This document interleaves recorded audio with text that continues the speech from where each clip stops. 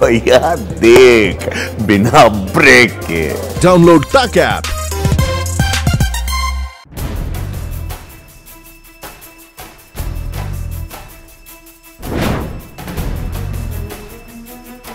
कुछ हिस्सा उनके हाथ चला गया। गैर कानूनी तरीके से कब्जा करके रखा और वो कसा कभी भी हमारे दिलों में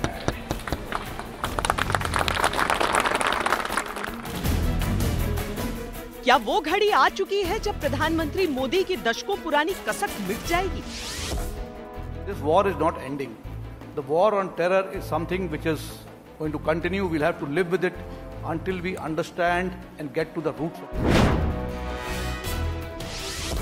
इसलिए एग्रेसिव हूँ कि जम्मू एंड कश्मीर के पीएको को आप भारत का हिस्सा नहीं मानते हो क्या?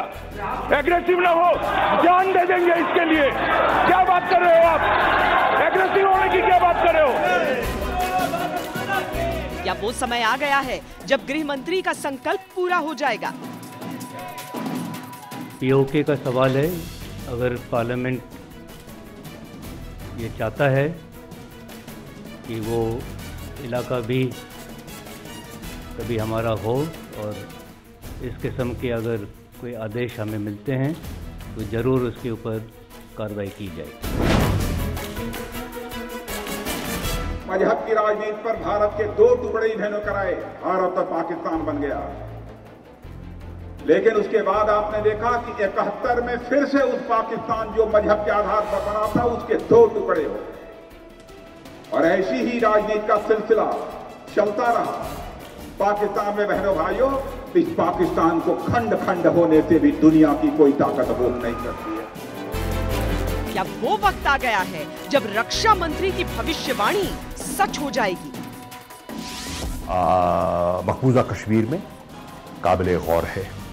स्पाइक मिसाइल्स जो एंटी टैंक मिसाइल्स हैं उनका डिप्लॉय होना काबिल तशवीश है। और फिर अगस्त 2019 से अब तक जो वक्तन फवक्तन मिसाइल टेस्ट किए गए हैं, इनसे भारत के इरादों का, खतरनाक इरादों का, जिससे इस खत्े के अमन व इसकाम को नुकसान पहुँच सकता है। दुनिया की नज़र उठाने के के लिए ये कश्मीर के ऊपर ज़रूर कुछ करेगा।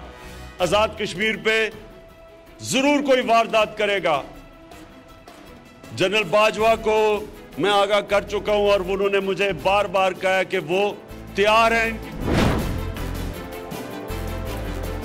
अब तो पाकिस्तान को इस बात के लाले पड़ रहे हैं कि पाक अधिकृत कश्मीर कब भारत के अंदर चला जाएगा और कब फिर से पाकिस्तान का फिर से विभाजन हो जाएगा। अब वो इस बात की चिंता कर रहा है। क्या अब किसी भी दिन भारत पाकिस्तान रिश्तों का इतिहास ही नहीं, भूगोल भी बदल जाएगा?